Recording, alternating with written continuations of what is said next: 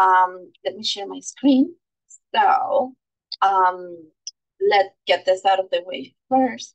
So we have, um, for today, I'm presenting this chapter 13, and we have someone for chapter 14, which is Flores is going to present strings. Thankfully, because I hate strings. And, well, I don't hate them. Hate is a strong word, but strings, I'm not the best at them. And then, thankfully, Nelson will present regular expression because, yeah, again, not my best. Then I present um, factors. So we we have February covered, but then March for dates and times, which I think it should be John, to be honest with you, the one that presents that chapter, but we'll see if he's to be available or not so that he can talk about dates and times. But so that chapter is open and then missing values to which I don't think it's going to be a very long chapter. I'm not sure. Um, so yeah, so let's make sure we have people for those two chapters for March. We have time, but still. Um, and then, so for today, we have chapter 13, which is numbers. So essentially, we're going to learn how to work with numeric vectors. So anything and everything related to numeric vectors. So what can we do with those values, right? So first, um, we are going to go through the recycling rule um, and then understand like how does R recycle some numbers when we are computing some functions or when we're using some function. Then we're going to understand how numeric transformations work or the most common numeric transformations, how we can uh, make sure we understand like when we're doing the minimum, the maximum value logarithms, and things like that. And then summary functions, which are going to be um, reducing a distribution to one value, which would be the mean, standard deviation, quantiles. So, so that. Um, okay, so let's start. So first, let's go over numeric vectors. So the numeric vector is going to be a data frame or just a vector. That's not a numeric vector, but when we're dealing, what we're talking about today, which is numeric vectors, it's going to be either in a data frame or just as a vector. Um, so how to make these numbers? If you have string, sometimes we have string and then we have to, or we need to uh, transform it into a number. We're going to do an overview of count, um, which is one of the most used functions from dplyr, if I'm not mistaken.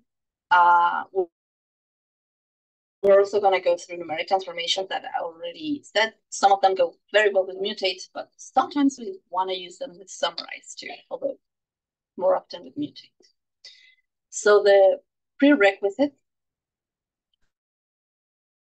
are going to be to download or to install um, the packages tidyverse and nycflights13, which is gonna which is a data package, so that we can have that uh, the flight uh, data to work with. I, I don't usually like to load the tidyverse completely because it's like um it's like a lot a lot of packages, but that's what was in the chapter, so that's why I have it here. Okay, so let's start by making numbers because I'm gonna go a little fast, but um, it's because it's a very long chapter. Um, okay, so let's start. So making numbers. Usually numbers are recorded as integers or as double. But sometimes you, you have pesky strings, right? Like something went wrong with your data when you were importing it, or you didn't specify that you needed to um, to, to have that specific column as a numeric value, uh, or your NAs are not necessarily um,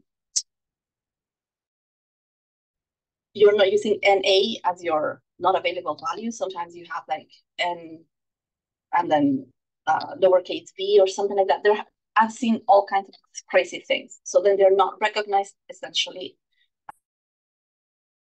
as numbers, or either an integer or double. So then um, they are imported as strings. Luckily, readr, the package readr, has two functions to help parse strings into numbers. So those functions are parse double or parse number. So the parse double is um, should be used when you have numbers written as strings, and parse number when you have strings that have non-numeric text that you want to ignore. So let's see a couple of examples here. Let's say we have this vector, which has the numbers 1.2 and 1e3. Um, so because we want to ignore that e, we just we, we, we just want to essentially uh, move it as a so all of these numbers, right? We want them to be written as numbers, right? We don't want it to be recognized that E as a string or that I needed to, I needed for R to recognize it as a number.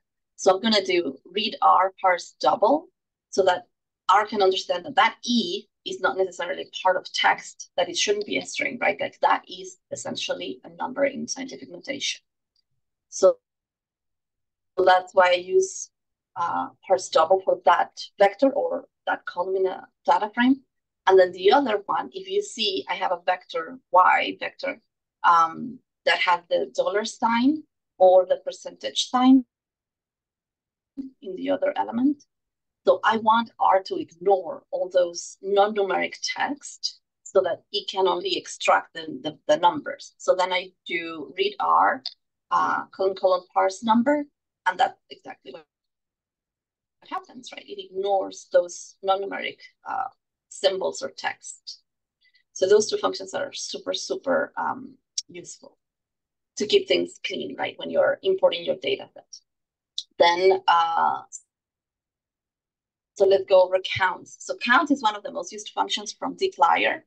And essentially what it does is it's gonna count uh, how many values are in a group or in a category.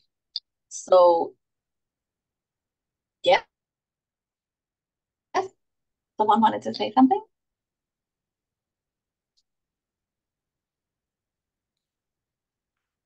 Okay. Let's continue. So then with um if we have this data that flights, right, that have um, information on flights, departure date, it has departure time, how much time, uh, what month, date, year, what that flight uh, departing, departing. So essentially, if I do for that specific data frame, I want to count how many um, this column, which is called DST. DST just means it's like a the number for each uh, one of the the of the um what do you call them like each one of the planes that is departing uh, departing I think each one of the not the plane necessarily, but it's the um it's a flight. I think it is. That's what it's called. So the yeah, it's, it's but it's, it's the, air... destination. Oh yeah, the it's destination. Yes, yes, yes. It's, it's where it's yeah, it's where it's going. That's right. Okay, so but this is essentially like a group, right? A category. So if I'm going to ANC, or how many flights are going to ANC, now I know because I did count to do that, that that's eight, right? And I can group this and do all kinds of other things. But essentially, count is going to count, it's going to tally, or it's going to estimate the number of occurrences for each one of my, in this case, uh, categories for this. And I have to put that inside the uh, inside the count function, right? Like what essentially am I counting here from like that the value or that the um, um mm. the vector that I wanted to estimate it, right? Like the um the, the column. Okay, so let's see here. Um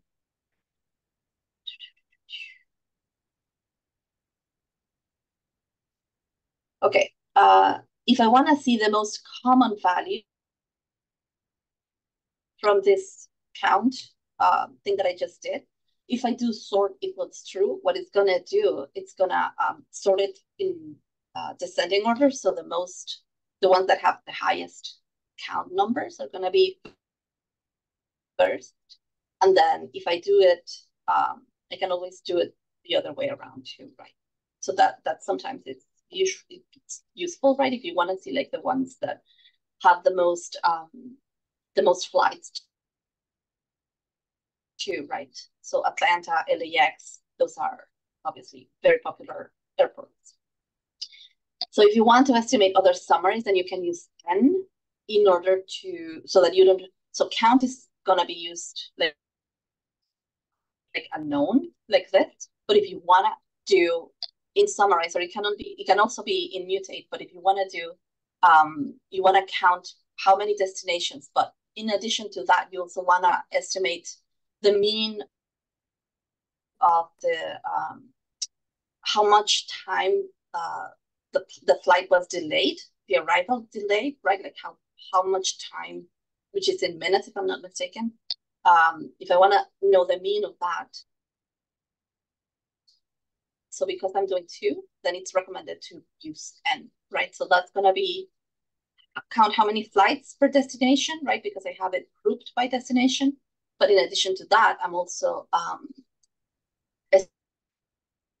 estimating the mean of that uh, arrival delay. And the na.rm is just so that it ignores all the NAs that are uh, that are in that um, arrival delay or R delay column. And that's what I have here. So I'm going to have not just the counts or the tally of each one of the um, uh, airports that a flight's arriving, but I also going to have the second uh, the second column. Right. Other useful variants to count is, for example, unique values. Uh, this is one of the ones that I use the most.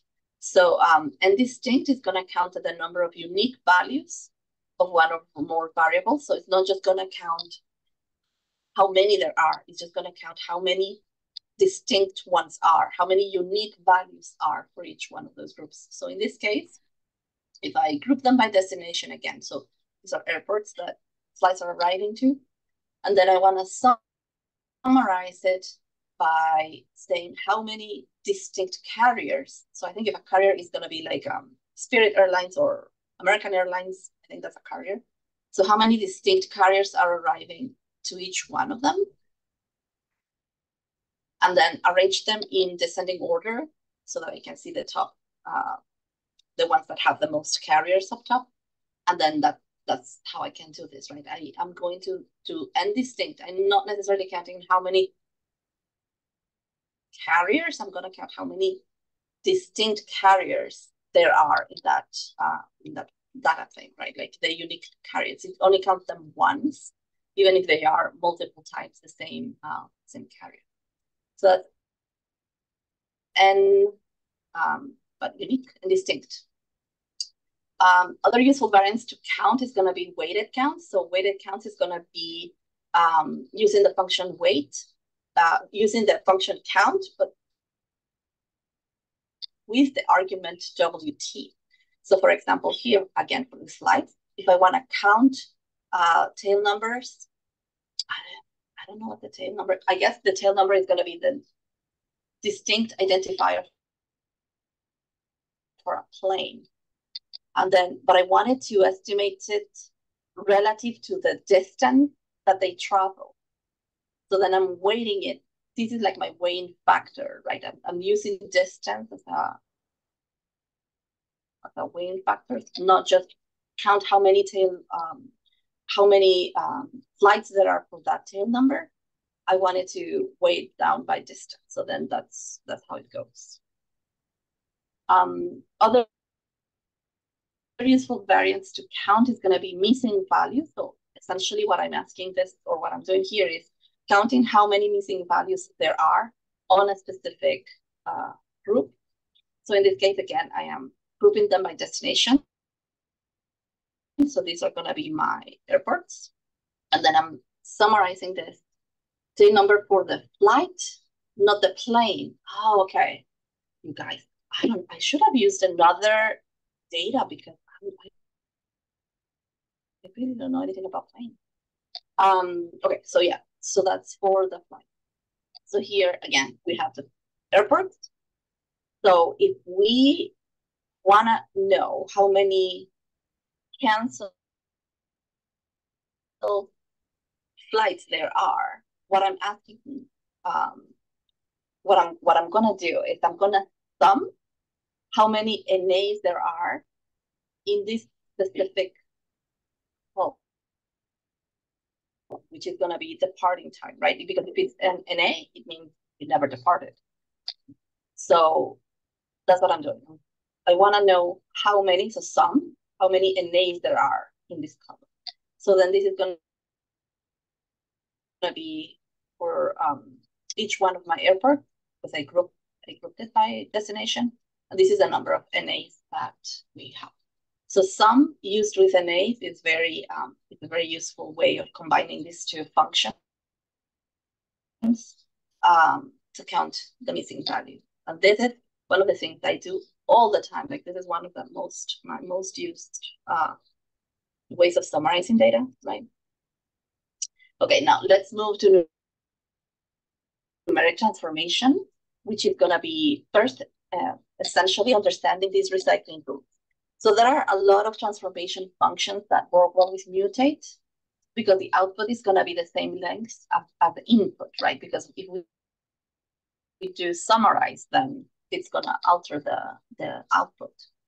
Um, but anyway, so first of all, let's understand these recycling rules. So when the so you are gonna have like two sides to um, to an operation here in, in R. So you're gonna have the left and right hand side to the assign uh, operator. So this is gonna be the left, in this case, the X, and then the right side of the assign uh, the right to the assign uh, operator, it's going to be the content that goes into that uh, object name X. So they are um, essentially, sometimes you're going to have different lengths, and then that's what R is going to recycle or repeat for the shorter vector. So if I have X in this case, it's going to have um, one, two, three, four elements, right? And then I'm saying that I want to divide each one of those values by five. So then I'm going to do, or R is going to do one divided by five is going to be 0.2. Two divided by five is going to be 0.4. 10 divided by five is two, and 20 divided by five is four. But what happens when I want to do something that, so that's the recycling, right? It's going to go through these five, it's going to go through all of the um, elements of that vector. But if the shorter vector is length one, uh, but if I have a shorter vector than a longer vector, then the recycling also happens, right? And we have to sort of be aware of how that is going to happen.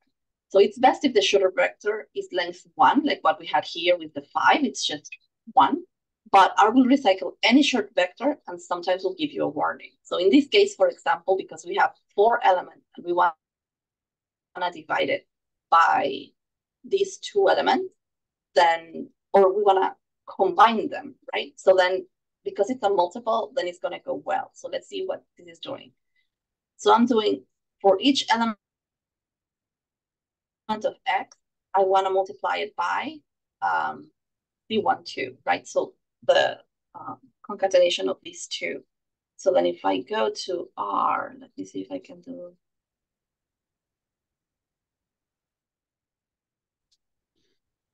wait. Okay. Let's do it here.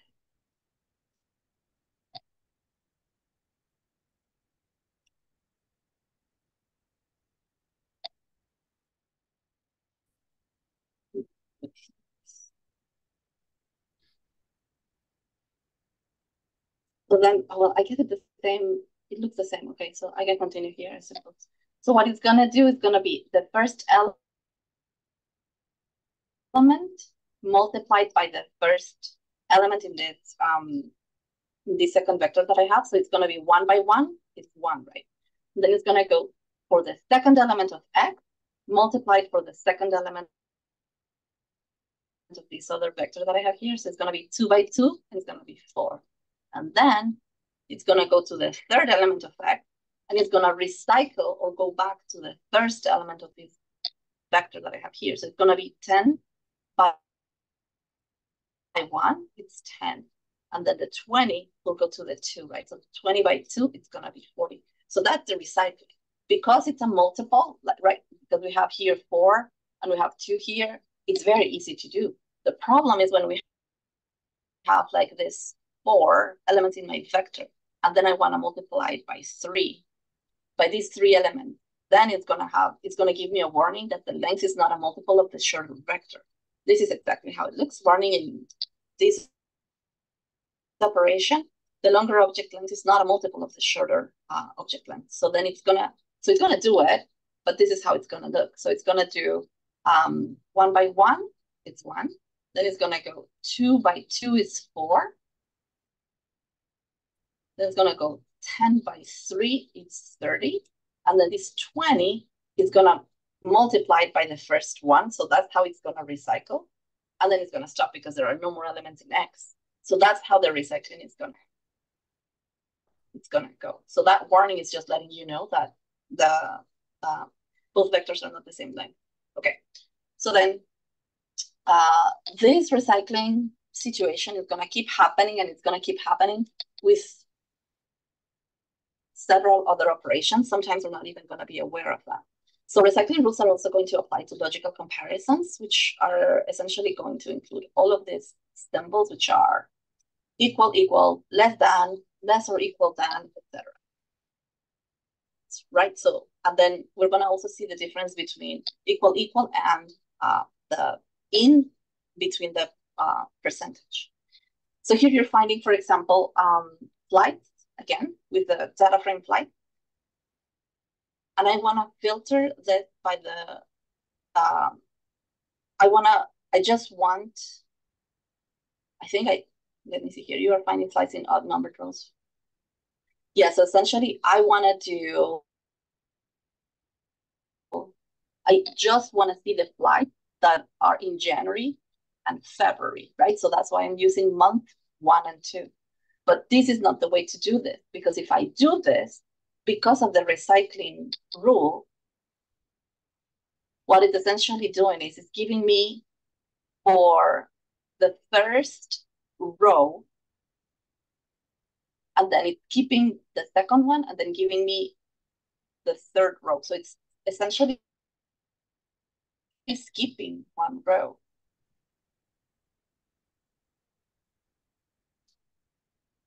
If I do so that that's what it's doing. It's essentially skipping, just giving me the first and the third, the odd numbered rows for January, right? So it's giving me the first, the third, the fifth row for January. But then for the second month, for February, it's gonna give me the even numbered rows, which is that one too, because I'm saying, give me the second, the fourth, the sixth, row. So this is not how I do this thing where I'm telling it, give me all the flights that were in February and January. So you have to be very aware of that difference. So to do that, the correct way of doing that is you essentially filter it using it, this operator that I call it in operator. I really don't know how else to call it. But before I do that, I need to define what the um, the months are going to be. So if I already know that months are going to be numeric, like one, two, three, four, I name a, a vector saying I want one and two months, right? Like that anything that goes or that has the number one or that has the number two, that's exactly what I want. So that's how you use this operator in. I could have, instead of using the JF, I could have put this C12 in here too. It would have worked essentially the same way. And if I wanted um, for year, for example, I could have said, give me anything, right, that it's inside 2013. This is just for 2013, but let's say that this has five years. So give me 2013 and 2014 and 2015, right? And then you would have instead of one and two, you, you would have put here 2013, 14, 15, right? So it's so this in operator is super useful. And uh, so this is exactly the correct way of, of asking for this, right? If I just want a subgroup, if I just want like a subset of of um, of my big data frame, then that's how you, you would do it, at least using dplyr. Um, then we have another numeric transformation, which is going to be minimum and maximum. These are going to be very easy. I think most of us have encountered them. The functions are pmin and pmax, which is going to return the smallest and the largest value on each row. So let's look at this example. So if I have this data frame with two columns, X and Y, and these are the values for each one of my uh, columns. If I do, um, with that data frame, I do a mutate where I want a new column that's gonna have the minimum value of X between X and Y and ignore the NAs, right? And then I'm gonna do another column called max, which is gonna give me the maximum number between the columns X and Y, right? Like choose between those two, which one has the maximum value. And that's exactly what I have. So here for min, it's gonna give me one because between X and Y, the minimum value was one and the maximum was three. For the second row, is not, right? It's essentially not, not um, it's the other way around. And here for the third row, because I'm saying to ignore DNAs, it's going to give me the same number for both the minimum and maximum. So this is different from min and max because pmin and pmax is going to go for each row. If we just do um, min and max, um, are, are different because they're going to return a single value from multiple observations. So you have to choose which one to do, right? So in this case, if we do, give me the minimum for um, between x and y and give me the max for x and y, it's going to go through all the values of x, which are going to be 157, and all the values of y, which are 3, 2, and 8. And it's going to choose among all of those, which is the minimum and which is the maximum. So that's why it's repeating the same values in each row, right? Because it's going to be just one single minimum and one single maximum across all of the values uh, between x and y. So that's a good distinction between those four functions. Another numeric transformation is called modular arithmetic, which in R, um, you are going to see it with this uh, division sign between the percentages or the uh, slash between the percentages, uh, which is going to compute the integer division and then just uh, percentage percentage is going to compute the remainder of that, that integer division. So if you do from the numbers 1 through 10, and I want to divide each one of them by 3, this is what I'm going to have. And if I want to do the reminder, then this is what I have. So 1 divided by 3, let me see how much is it. 1 divided by 3 is going to be 0 0.33. So then that's why I get a 0 here. And for 3, because 3 divided by 3, right, it's going to be 1. So then that's essentially what it's giving me. It's just that first um, that first digit before the point. I don't know how to call that in English, you guys, because I took math in Spanish. Anyway, with the divisor, I think it's called in Spanish divisor.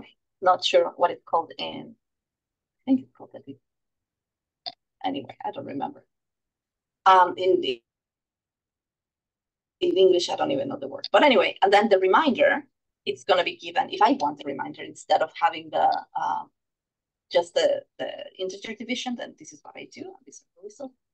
So we see an example here uh, with the flights thing uh, with the flight data frame, if I have, um, because I have the departure time not a, a time uh, object, right? It's not, uh, not object, but um, it's not a, defined as a, as a time, as time. It's defined as an integer, 515, 529, 540, right? It's not 5 colon 15. So then this is how I could do this. If I want to separate hours and minutes, well, there are multiple ways to do it. I suppose this is a complicated one. um, so you can just do a mutate and do the scheduled departure time divided by 100. And then that's going to give me just the division rate because it's going to be 500 divided by 100. It's going to be 5. And then give me the reminder, which is how much is left. Uh, so just put it here in the uh, in the for the minutes. They keep used. I don't remember this argument. Let me just check what that is. Um,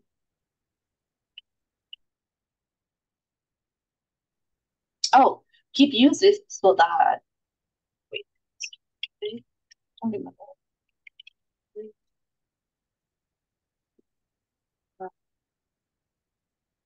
I don't remember what that. Oh, okay. So then it it's to control which columns are retained in the output. So if I say used is it's gonna retain only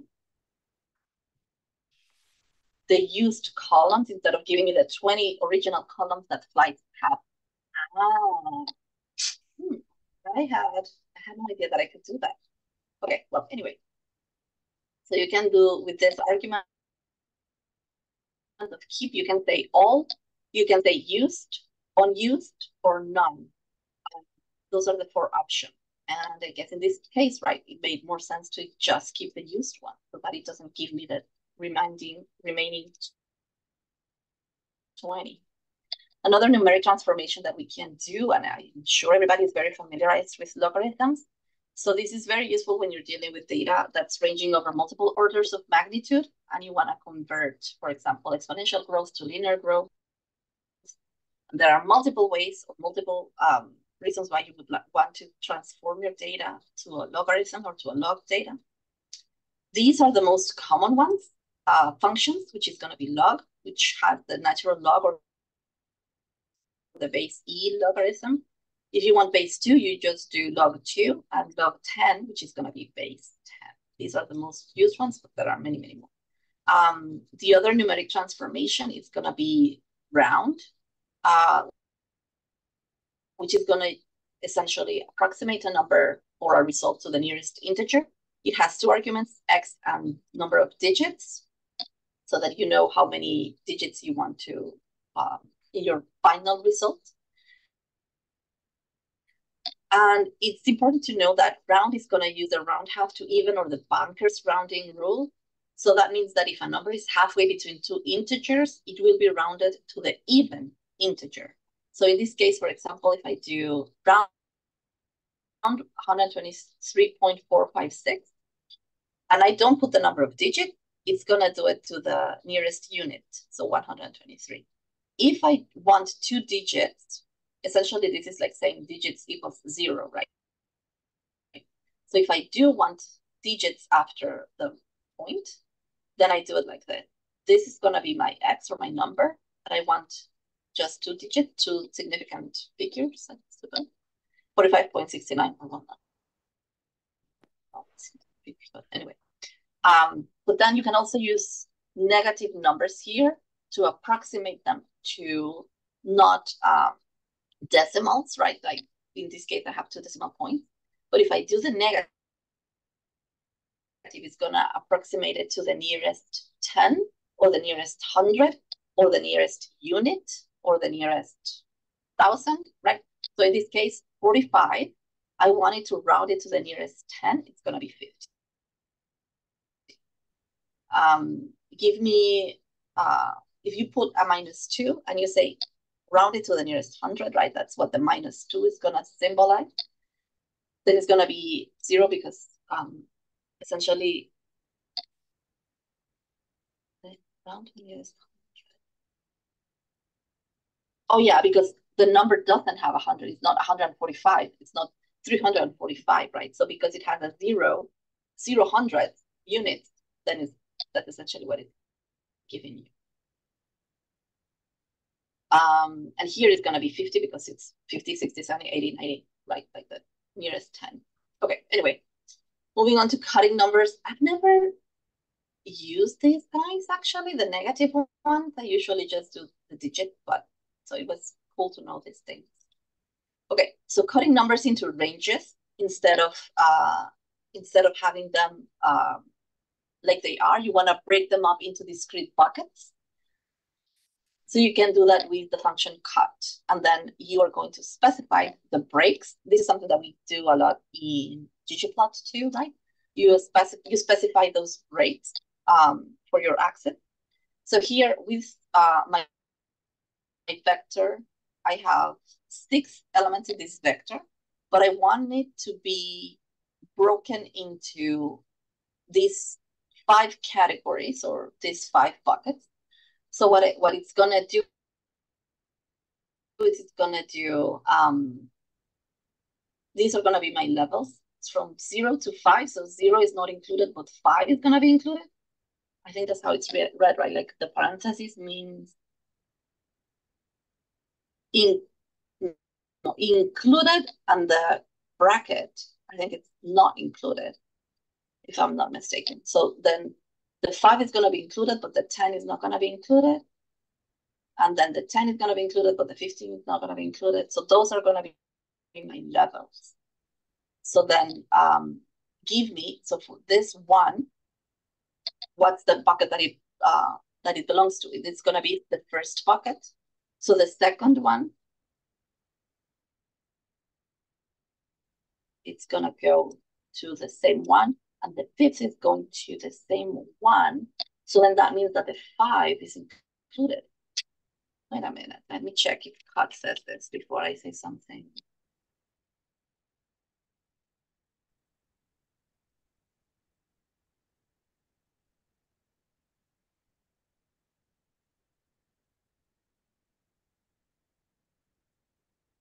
Bracket is included, yeah. I remember remember that from school too, but then it, this thing made me made me suspicious. So then, but the zero, it's including it too,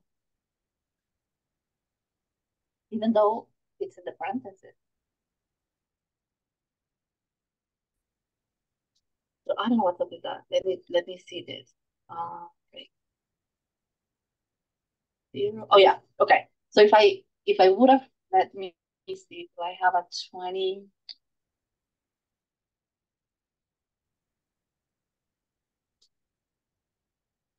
15 is assigned to the 10, 15. Yeah, okay. Sorry about that.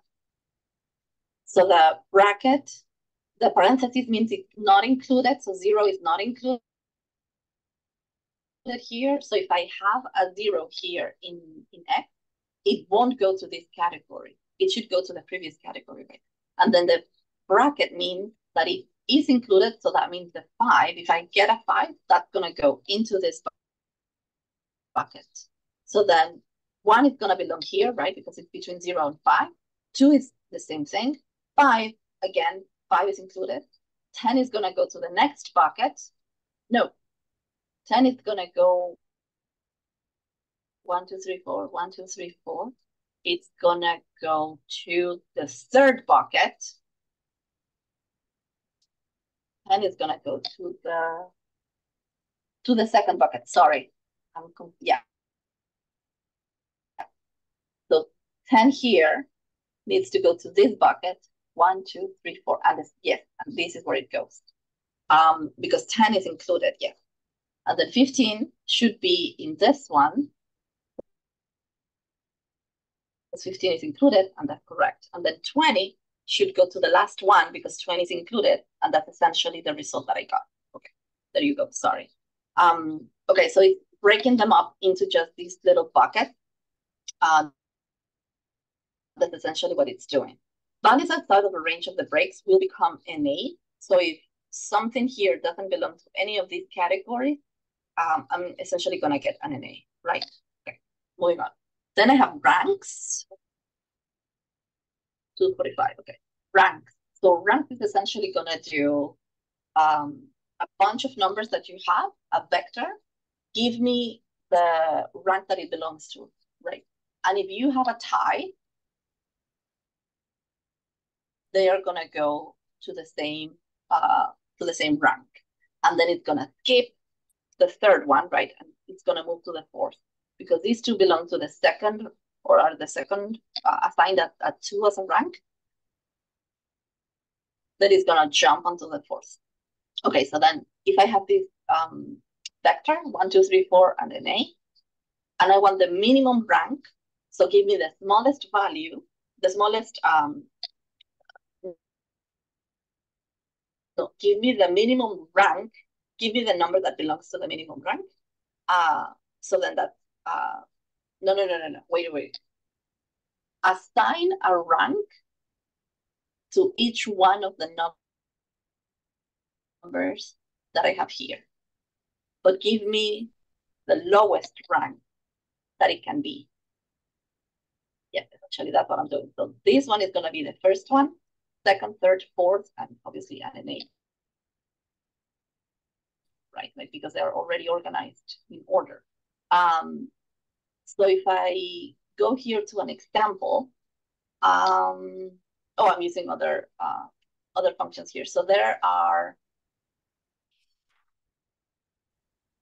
so minimum rank that's easy, right? Like give me just organize my numbers, uh, assign them a rank. So if I do, okay, so these are other functions, and I put them here, like the explanation. So there are other um, functions that you can do that are associated with ranks. Like for example, row number. So row number, what it's gonna do, what it's gonna do is it's gonna assign the number of the current row to that value. And the dense rank is gonna assign ranks, but doesn't leave any gaps, uh, like minimum rank does. So this is the gap that I'm talking about, right? Like because it's going from first, second, second, and fourth. fourth That is essentially not assigning anything as rank three. So dense rank, what it's doing is it's not leaving any gaps. So it's gonna go first, second, second, and then third, even if there's a tie. And then percent rank, it's just going to count the total number of values that are less than uh, the value that you have, and then it's going to divide it by the number of observations minus one. And then the cumulative or cume_dist, what it's going to do is just going to be adding them up until they reach one. So if we see an example here, one, two, three, four, and an A, give me the row number that they belong to, again, one, two, three, four, right? Like that, the, the row number that they have. And because I set, um, oh yeah, essentially, yeah, row number. Then I have dense rank. So that means assign the rank, but don't leave any, any ranks. So even if there was like a tie here, it would just jump. And then this is going to be the percent rank, which is going to be the rank divided by the total and then minus one so that it's in, in like a proportion number. And then this one is just adding them up. Okay, then we have offsets. Um, so these offsets are essentially two main functions. So we have lead and we have lag. And it's, these two functions are allowed we need to refer the values just before or after the value that you have. So for example, here, my first number is two in this vector. So give me the lag of x. So it's gonna be the, give me the previous value for two. There isn't, right? Because the vector starts at two. Give me the previous value of five. And it's two, right? It's this one. Give me the previous value of 11. And I know it's five. So it's essentially just moving them one left, and lead is gonna do the same, but moving them one up. So those are the offsets, right? Offset to the left or offset to the right. Then we have consecutive identifiers. And um, so the, the way that they are going through this is, let's say you have this problem. You want to start a new group every time some event occurs, right? And you can define that event as anything that you want. For example, you have, these are the times when someone visited a website and you want to break up these events into sessions. Oh, I'm sorry about that. This should be SS. These sessions are gonna be every time the gap between these two events is more than five, because these are, so um, at minute zero, someone visited my site, right? And then minute one, and so on and so forth. So if the difference between two of these values is more than five, which means that there was more than five minutes between two visits, between two activities, then I wanted to, I want R to assign it a new group number. So I do that by saying based on time, which is this, right? If you subtract the lag time, which remember, it's going to be the previous one, right? You're offsetting it to the left. So, and then my default, I'm essentially saying that it's going to be the first, this one zero, so that it doesn't give me an NA, like we saw in the example before, that it's going to give me an NA here. So that's why I'm setting it so that the default is going to be essentially always this first value. And then my gap is going to be, I'm going to define it as the different, um, so this one, right, that it's going to be larger or equal to 5. So what it does is essentially saying, okay, so this is your time column, 0, 1, 2, 3, 5, 10, 12. The difference or the lag, the difference between the time and the lag going to be the difference between 0 and 0 is 0, right? Between 0 and 1, the difference is 1. The difference between 1 and 2 is 1. But if we go here, for example, the difference between 20 and 27 is 7. So this is saying that it's true. This is a new group because the gap is larger than 5 minutes. So that's how you do it, have gap. The, the difference, uh, it has to be, so this difference, right, between the time and the lag has to be larger than 5.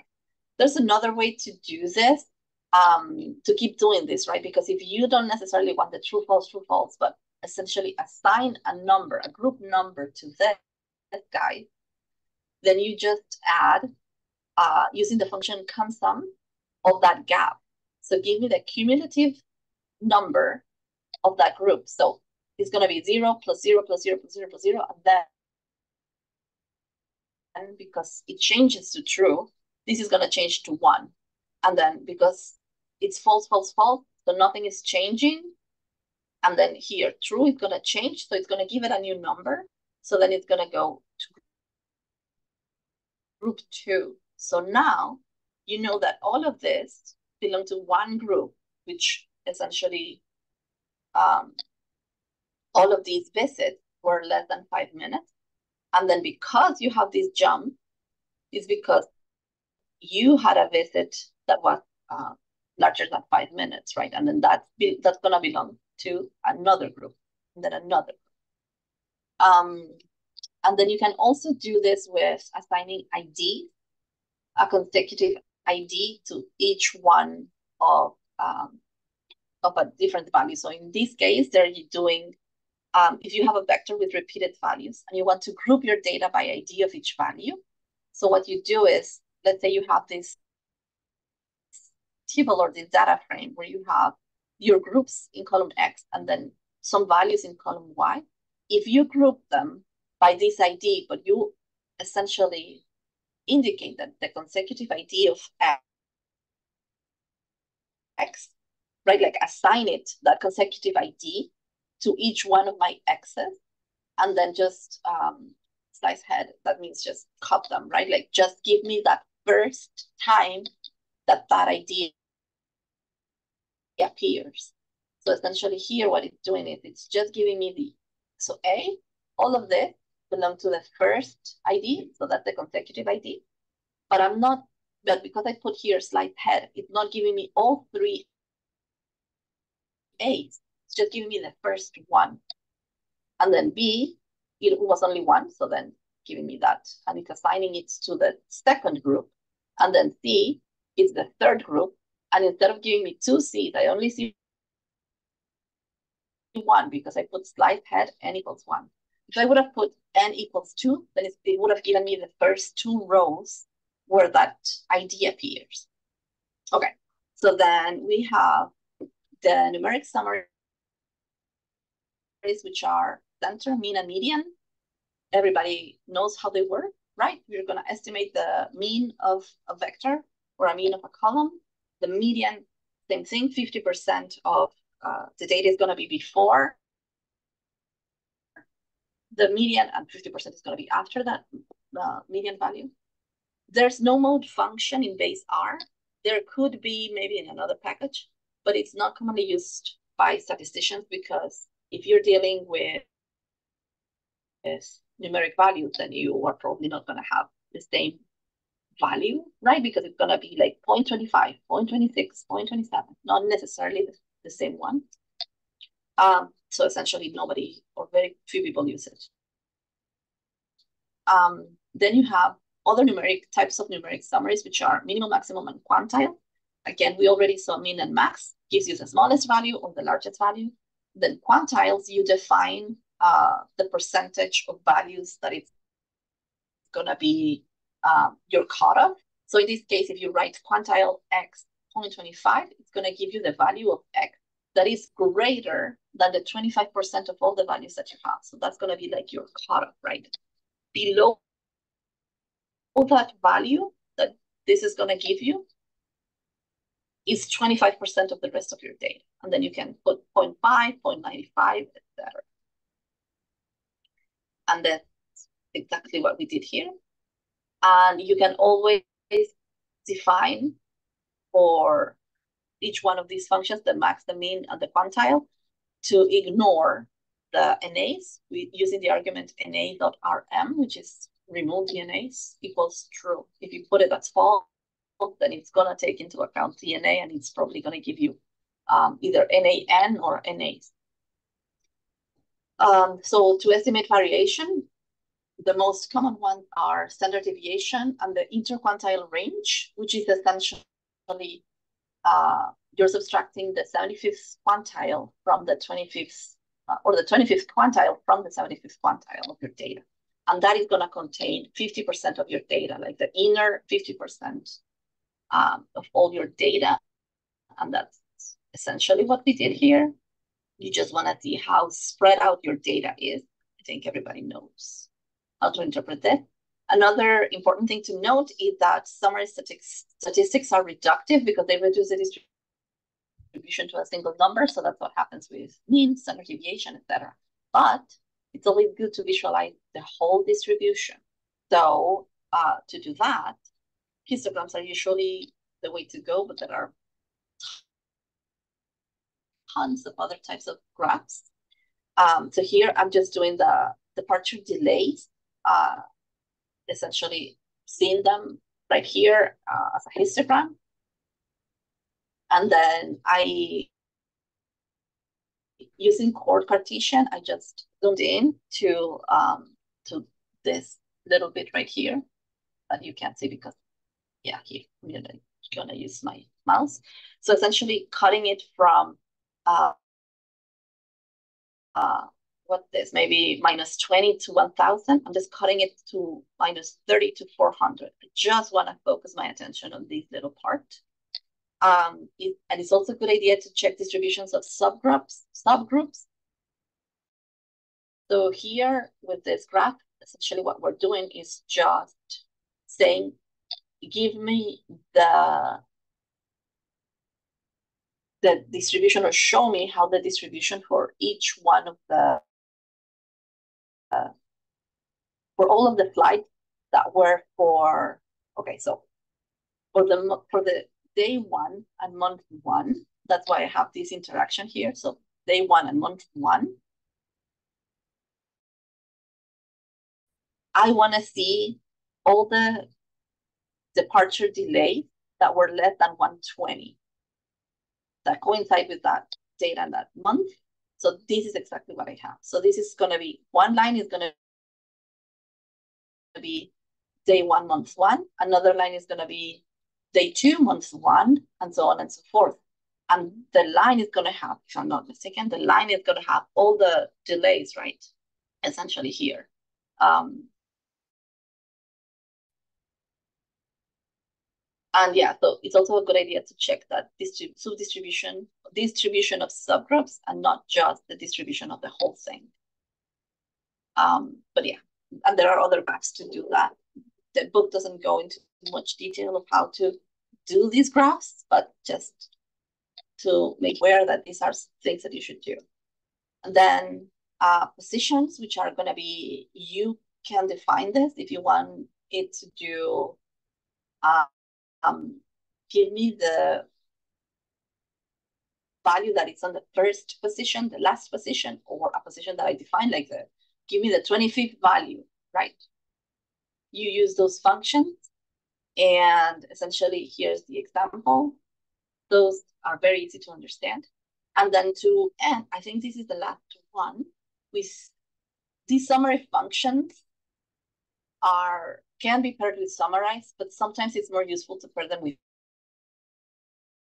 mutate because the problem with summarize is well not the problem but the thing that summarize does is that it goes from all of the data and then it's gonna so the output is gonna be larger no the input is gonna be larger than the output. But with mutate you keep the output and the input the same length so yeah because summarize is essentially cutting all your data right? It's summarizing it into one value or just one value per group. But with mutate you keep all the rows that you had at the beginning. And these are the most common uh, ways to summarize with mutate, which is going to be the proportion of a total, uh, which is the value that you have divided by the total of that column or that group. Um, a z-score standardized mean, um, which is going to be essentially for each one of your values in your vector, subtract the mean and divide it by the standard deviation of all that group or all that column, uh, standardize it to a range of zero, standardize it to a range between zero and one. So it's the same thing, but what you're doing is uh, that x value that you have in your vector, subtract the minimum and divide the difference between the maximum and the minimum or your range. And then that's how you get this other type of standardization. And if you need to compute an index based on the first observation. So what's my value relative to the first one? Then that's what you do. And then there are all the videos. So that essentially everything. I think it's a lot. It's a very dense chapter, but it's things that we already know. I think that these are like some of the functions that most of us have used a lot, a lot, a lot. And yeah, they just went through each one of them. Um, so yeah, I think I think that's all you guys. Numbers. Congratulations, Gabby. It's a, a very long chapter. Yes, yes. Yeah, you did a good you did a good job. All right, you guys. Thank you. So I think I think that's it. So just to make sure. Um, okay, so next week we have Flores that's gonna present strings. I'm really looking forward to that chapter. That's my understanding of strings is zero. And then make sure to sign up for chapter 17 or 18 if nobody has. Um, and yeah, that's it.